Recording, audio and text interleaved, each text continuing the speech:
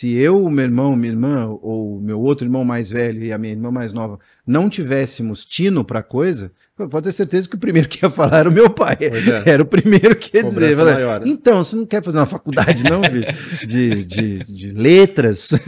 Concurso é, ótimo é, aí pra jogar futebol. Lá, tá tendo vaga ali, você joga bem, eu devia, devia, devia investir nisso.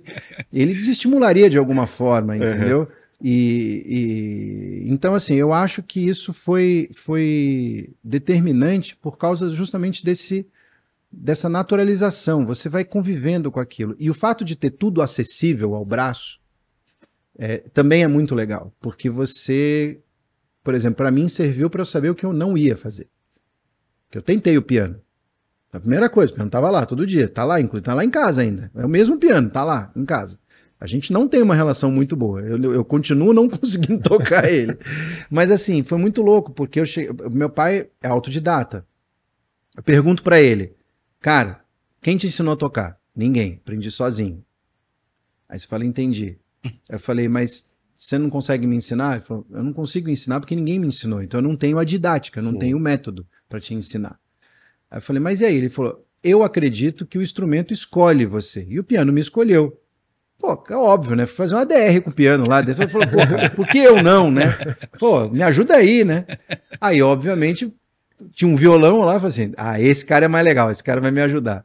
Aí eu fui lá, nada, sou canhoto. Aí o violão já tava todo errado. Eu sou canhoto também. Cara. Aí o violão já tava todo errado. Aí eu já falei assim. E aí ninguém tem muita paciência com não, a gente. Né? E eu, imagina que eu vou falar, posso trocar as cordas? O, o, violão veio aqui, no meio da testa. Né?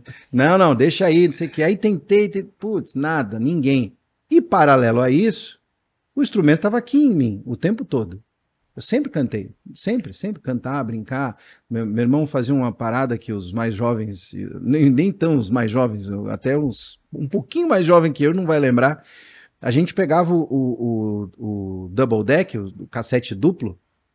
Naquela época, o cassete duplo tinha entrada para microfone. Uhum. É, fazia isso. E aí você, se você pegar o, esse fone de ouvido aqui, pegar ele e ao invés de ligar ele na saída de fone, você ligar numa saída de microfone, microfone. você inverte a polaridade e ele vira o microfone. Tudo bem que você tem que cantar assim, que é horrível, ridículo. Mas dentro é, do vaso. É, dentro do vaso. Mas ele capta a sua voz. Sim. Então meu irmão fazia o quê? Meu irmão pegava o, as, os, os, discos do Earth and Fire que a gente ouvia direto, que ele me via cantando a torta e a direito para tudo quanto era canto da casa, e ele armava de eu, de eu cantar junto com ele. Ah, faz os backs aqui junto. E ele gravava e mostrava pro meu pai. Falou, oh, o cara canta.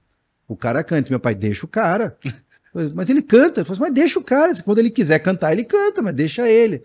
Então, assim, meu irmão, mais uma vez, um grande incentivador de me, me botar para cantar, acima de tudo, né? E aí, com isso, eu descobri que era isso que eu queria fazer. Ou seja, estava ali na minha cara o tempo todo, mas eu precisava... O teu instrumento te escolheu. Exatamente, meu instrumento me escolheu. É isso, galera. Se você gostou desse corte, com certeza você vai gostar do episódio completo. Vai na descrição, pegue o link, acesse lá, se inscreva, deixe o seu like e ative as notificações. Um grande beijo, valeu!